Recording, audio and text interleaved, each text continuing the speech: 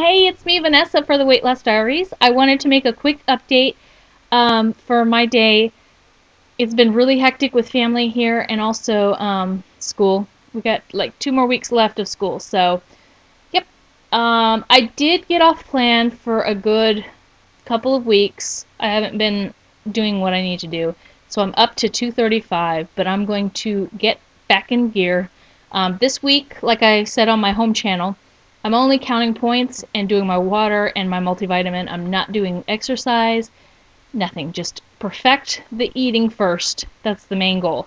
Um, now, I did want to choose um, a few cookbooks because the topic of this week is what's your favorite cookbook? I actually have a few of different things that I like to do. First of all, um, I just got this. It's the Biggest Loser Simple Swaps. I really like it because it's got some good recipes in it, plus it's got great info on counting calories and just different tips, that type thing. Um, I also got, I still have not made anything from here, but I love it, is the Hungry Girl cookbook.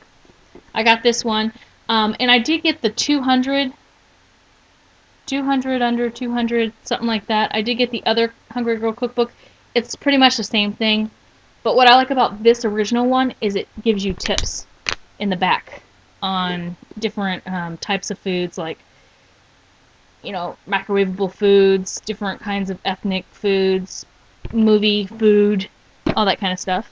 Um, and like denise the eat clean diet um, i started reading this and then i don't know why i stopped. I think because i just i don't know. But my goal is to transition from Weight Watchers to this. Um, but I got it. I love it, and I will use it. Just not now. Um, and then what I have for Weight Watchers, they have this magazine that comes out. Um, and I get the Weight Watchers magazine, plus I get these 20 minute meals recipes, and then they've got another one, and it's like seasonal. So this one's the fall, and then this other one I think is spring. Yeah, so I get those. And to the Eating Clean Diet, they have a magazine out, and I actually subscribe to this one because I love how it's just not recipes, it's actually living well and eating well, give tips. They also have sections on different utensils that come out, that type thing. And it's this one Clean Eating.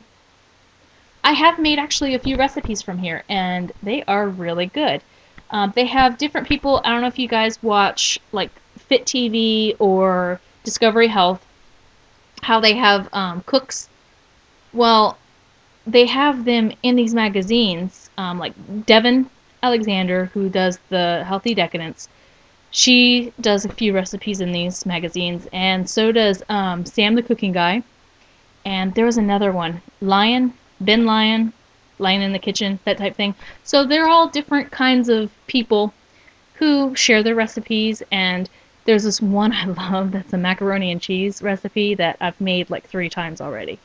So that's pretty much what I do for cookbooks. Now, lately, because I haven't really had the time and money to go out and do these elaborate cooking things, I've been just sticking with the um, just the basic stuff like putting a meat with a carb, and that's pretty much it. I haven't been doing anything special, and yeah, I just haven't had time. But I really want to get into um, cooking because it's something that you know you can learn and grow on and get better at. So, but yeah, that's pretty much it.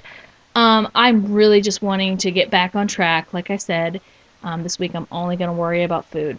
Food, food, food um, and then stick with my minimum Weight Watcher points. But I uh, guess that's about it. Um, and I did make a promise on my home channel. I'm going to make it here. I am not going to weigh myself every day anymore.